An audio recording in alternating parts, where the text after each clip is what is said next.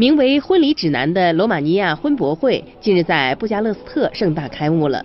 从婚纱到婚礼摄影，从鲜花布置到婚礼蛋糕，新人们可以在这里找到有关婚礼的一切用品。其中最重要的就是新娘的婚纱了。许多准新娘还动员全家一起出动，寻找心仪的礼服。